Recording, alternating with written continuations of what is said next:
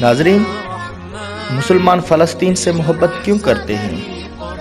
ہم آپ کو آج یہ بتائیں گے کہ آخر ایسی کیا بات ہے کہ پوری دنیا کے مسلمان فلسطین سے محبت کرتے ہیں۔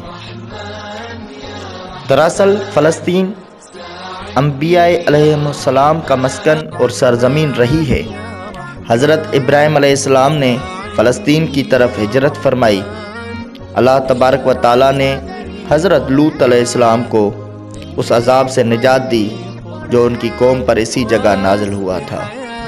حضرت داؤد علیہ السلام نے اسی سرزمین پر سکونت رکھی اور یہیں اپنا ایک محراب بھی تعمیر فرمایا۔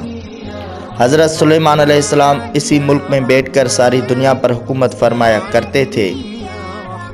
حضرت ذکر علیہ السلام کا محراب بھی اسی شہر میں ہے۔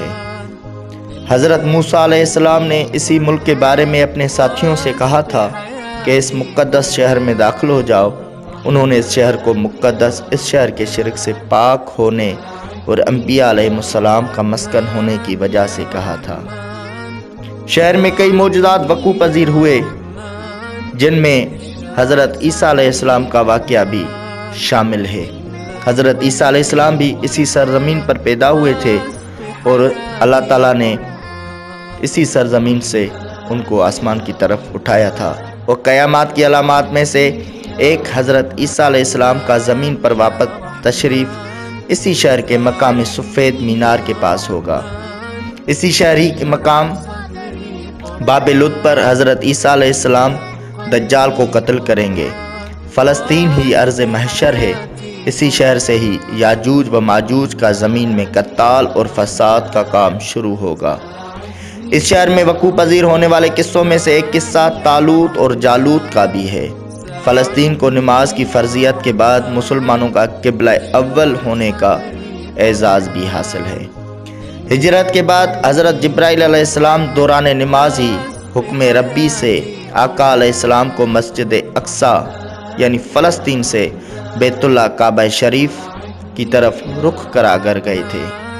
جس مسجد میں یہ واقعہ پیش آیا، وہ مسجد آج بھی مسجد قبلتین کہلاتی ہے۔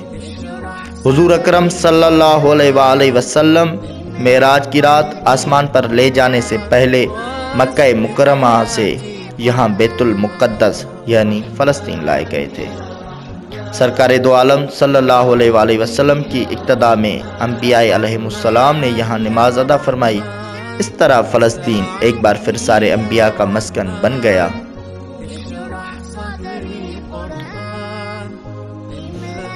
فلسطین کی عظمت کا اندازہ اس بات سے بھی لگایا جا سکتا ہے، یہاں پر پڑھی جانے والی ہر نماز کا اجر پانچ سو گنا بڑھا کر دیا جاتا ہے۔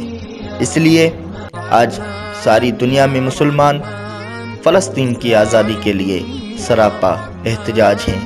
کیونکہ فلسطین مسلمانوں کا قبلہ اول ہے۔